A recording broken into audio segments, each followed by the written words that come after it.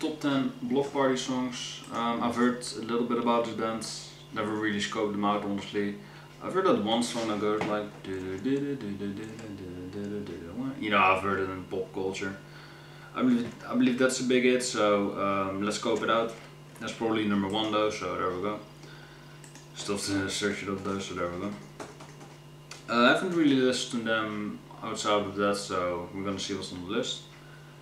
Three years old, so it's actually quite old. If the camera can go fucking straight. No, man. So there we go.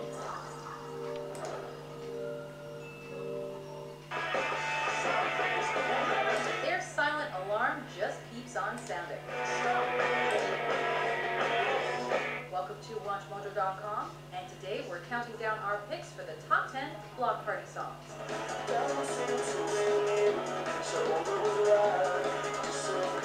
This list, we've chosen It's like electronic and stuff. based on a combination of the artist's fan favorites like eating glass. and their most commercially And that's a great, uh, that's a great title. songs.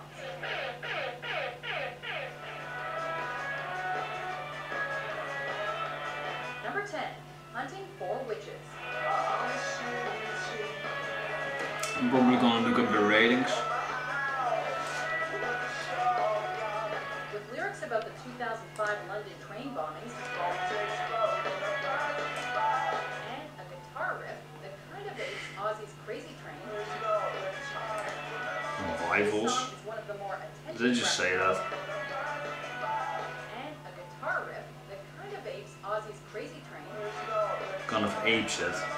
This song is one of the more attention-grabbing Not tracks really, but Bloc there we Party's go. Sophomore LP.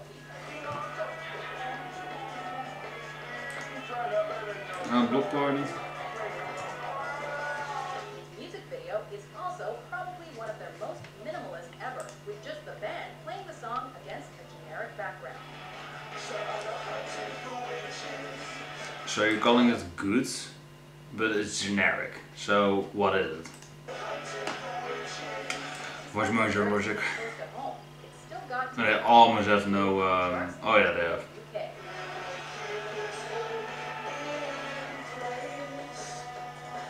Ooh, that's not good. That's not good. Ooh, that's not good. Oh my god. Uh, they were like decent at the beginning, and then they went really, really downhill afterwards. They had a good, they had a great debut, had a decent follow-up, mediocre third one, mediocre fourth one, which I just called four, and then two records later, they two and a half. Jesus. Alright, so Bloc Party's pretty shit. According to the ratings.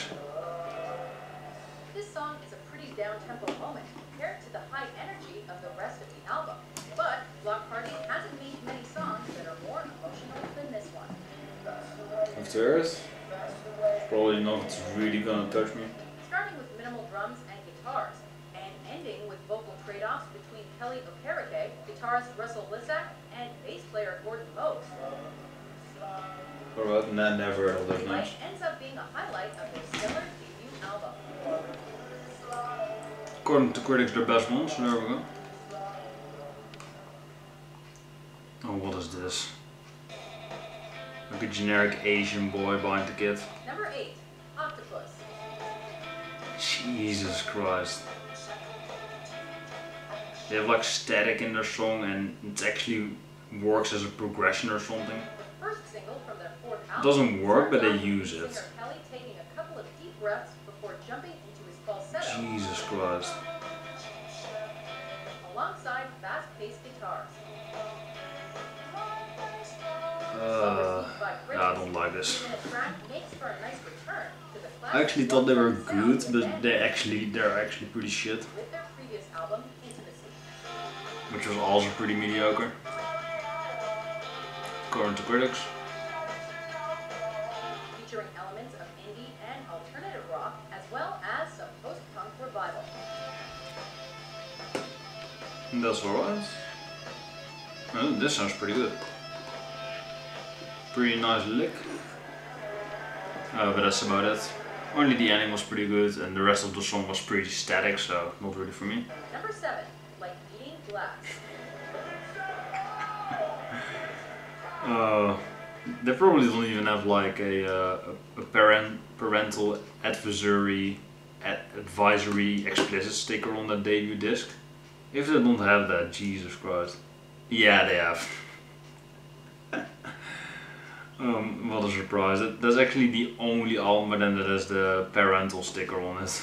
Album could not. have Probably because of this uh, this song. With drummer Matt Tong providing yet another Stewart Copeland Jesus. Christ.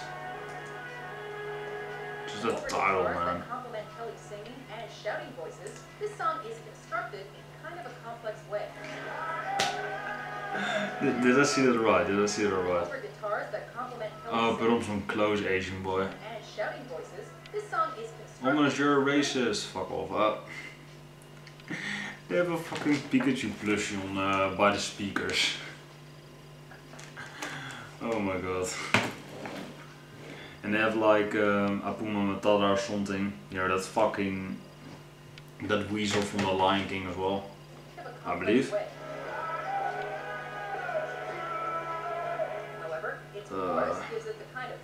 They're not that bad, but just come on, man. around the world.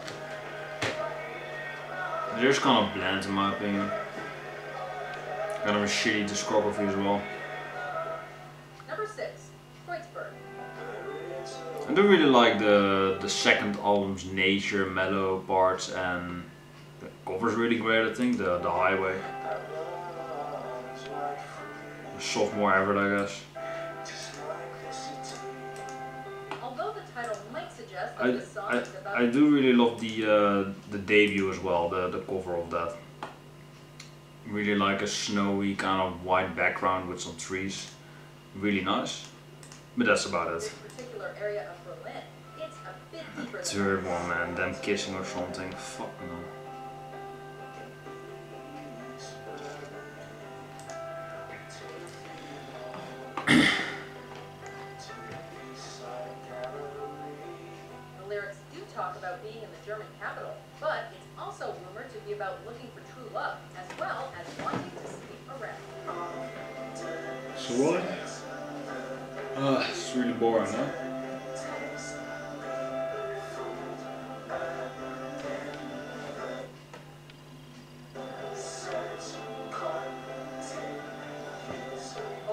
Vocals and mellow instrumentals make the song a standout from the latter half of their sophomore LP. Sophomore indeed. Also quite more boring in my opinion, but that's me. Number five. Number five, This Modern Love. It's all from the first albums. Not everything, but four, I believe, and the halfway point of the Implicity. This song is rumored to be about a guy who loves a girl, but the girl is too scared to love him back. How is that even possible? Regardless of the song's subject matter, it's one of the most hmm. The, if the guy's in love with you, just say that you're in love as well, or deny him. songs Bloc Party has Don't go in like a cringy crush stage or something, or a friend zone. It's like the worst thing you can do. Love wasn't released as an single, but did get featured in an episode of How I Met Your Mother, which introduced Oh, the band's sound to an even wider audience. Oh, I've actually heard this song. I've watched that, um, I believe the first season of How I Met Your Mother, so there we go. I haven't really continued since because it's all basically the same. You have not like nine seasons.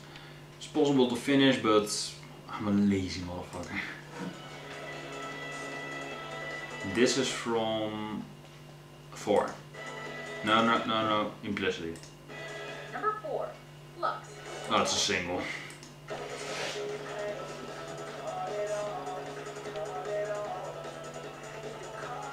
I use like auto-tune in this one, Jesus.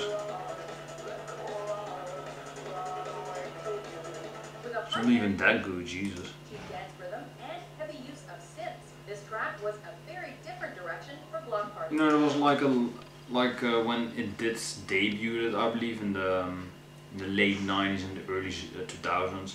It was actually used by Daft Punk. It's really the only thing that I like about it. Um, and they actually used it right because they had like aliens and shit, outer space, and they actually used it to have sort of a, uh, a spacey kind of uh, alien alien vibe to it. So that actually really works. Works in my opinion, but ever since that, it just went downhill from there. Jesus Christ. At least I've, I haven't really heard anything like it though. Ever uh, after ever since. I've heard I've heard uh, Steven Wilson using it on um, the Raven that refused to sing on you know on that on that album, the the self-titled one. Um, so that I, I really love that. It's actually one of my favorite albums of all time. And Discovery. It's used on two great records, but that's about it.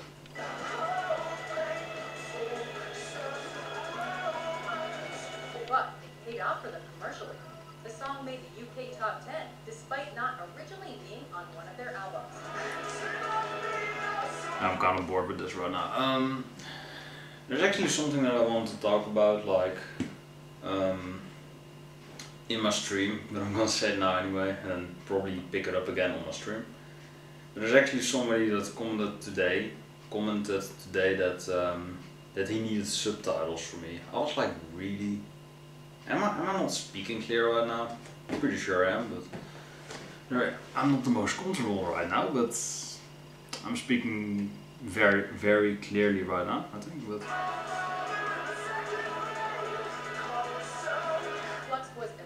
But if not, then don't watch me. Fucking dipshit. Deleted the comment though because Fuck no.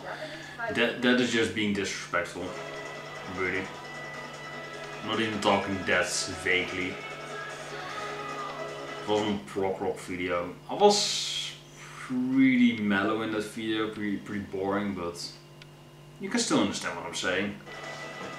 I've improved ever since, but number three. Number three, Signs. I got down, downhill so quick in my opinion. This is one of the band's most unconventional tunes, Signs' rhythm was based around a glockenspiel and a percussion instrument which originated from Africa. That's right.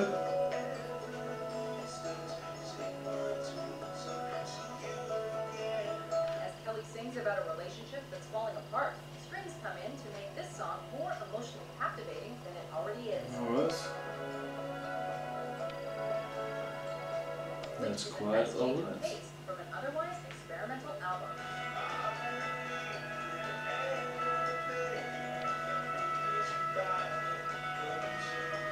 Song. Uh, this from Silent Alarm, I think. Sounds pretty rocky. Number two, Helicopter. Yeah, there we go. While the band won't confirm it, Helicopter is reportedly about former U.S. President. They actually sound pretty rocking on their debut. Nice debut. As well as Brits appropriating But that's about it.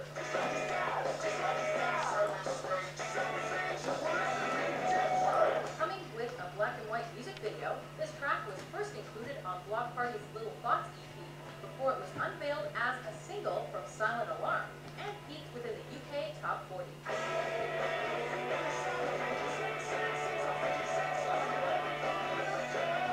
Oh, that's a pretty good song. Pretty rocking. And has appeared in How long is the video already?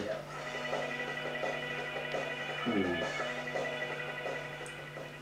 It's kind of an iffy riff, but there's a nice tone to it. top hits, here are a few honorable mentions. What I mean with that, it was a nice idea to put that riff on there, but I think the riff is too bland. It's a little bit too repetitive for me, and it just sounds too weak in my opinion. If, if you have a little bit more reverb or a little bit more raw power on it, I think it could have worked.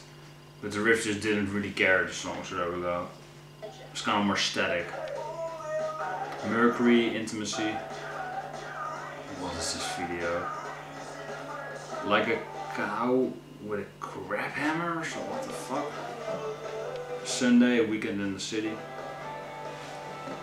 That sounds like a good album, really. Sounds alright. Um, SRXT, a weekend in the city. Yeah, so they have like two good records and two mediocre ones and two bad ones. So there we go. And they have like an Asian drummer and a black uh, lead singer. Not being racist here, but it's kind of like a ra race band or something. They have like a different fucking person. How am I gonna say this? um, they have like a different version of every race or something. Not being racist, it's just literally how it is. I'm actually skipped it a bit. Uh, positive tension from Alarm. I believe that whole album is on there already. Oh, actually. there was like a chick on um, on like shoulders of the crowd. She was like almost naked, and it was like her bro, her little brother or something besides her. Fucking hell. The prayer we could then see.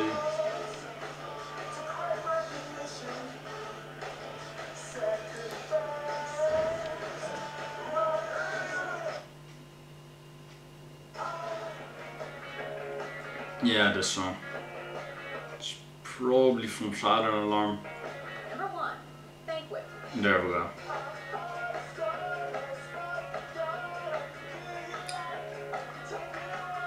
Without That's the only song I've heard from them. this is the track that defines what Bloc Party is all about.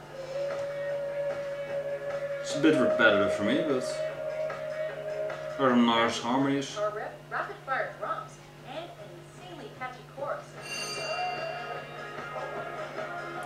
Mm, It's a little bit too generic for my taste, but it's, it's their best song for sure. was what opened the door for Bloc Party to be recognized outside of their native UK, particularly in North America. It's a rocking song. Doesn't really do it for me though, but made the top 20 in their home country and made the top 40 of Billboard's alternative charts in the States.